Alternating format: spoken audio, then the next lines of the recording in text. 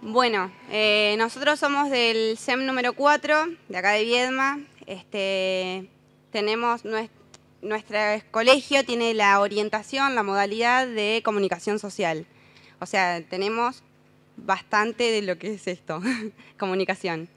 Este, lo que nosotros venimos a, exponer a nuestra exposición es el tema de eh, el poco espacio que los jóvenes y los adolescentes tenemos eh, en los medios de comunicación. Aparte, cómo estamos expuestos frente a los medios de comunicación como adolescentes. Este, no sé, también traemos una propuesta que es importante, que a nosotros nos parece importante, que creo que yo, creo yo que a ustedes también les parece importante, porque por eso estamos acá, es eh, proponer el espacio para el adolescente dentro de los medios de comunicación.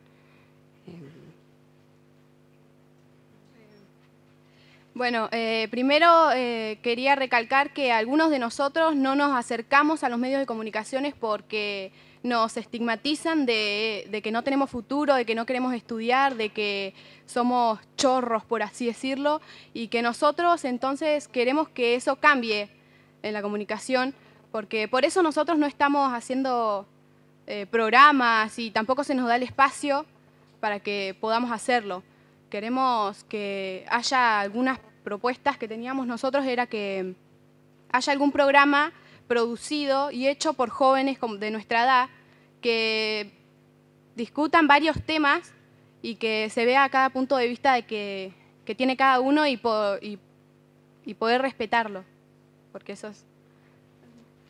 Este, y no solamente eso, sino que también lo que estuvimos charlando fue el tema de eh, agregarle, porque como que no en los...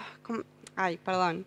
En los medios de comunicación no siempre se está el, que hace las señas para la gente que es sordo-muda.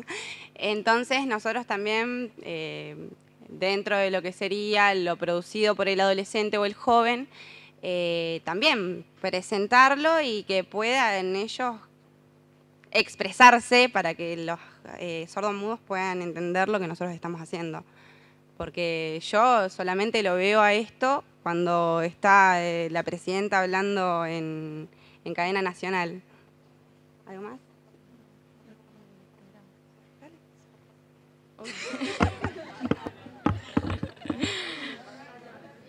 bueno. Eh, bueno, lo que nosotros también habíamos estado hablando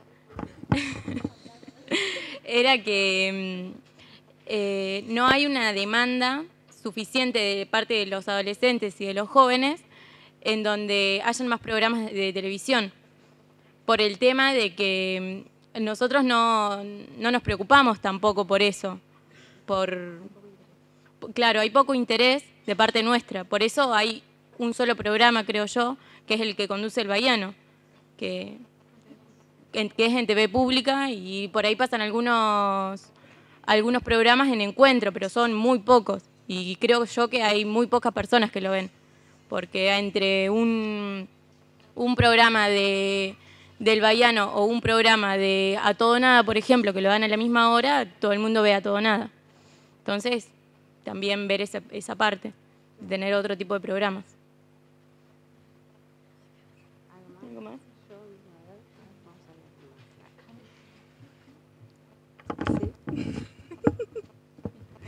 Eh, también lo que estaría bueno es que eh, seamos varios los que nos interesemos en poder hacer algo para los jóvenes y los adolescentes, para que seamos varios, o sea, poder hacer algo que esté bueno, que sea entretenido, que, que llame la atención de alguna manera a los jóvenes que no estén tan interesados para poder llamar su atención y que nos vean. Nada más.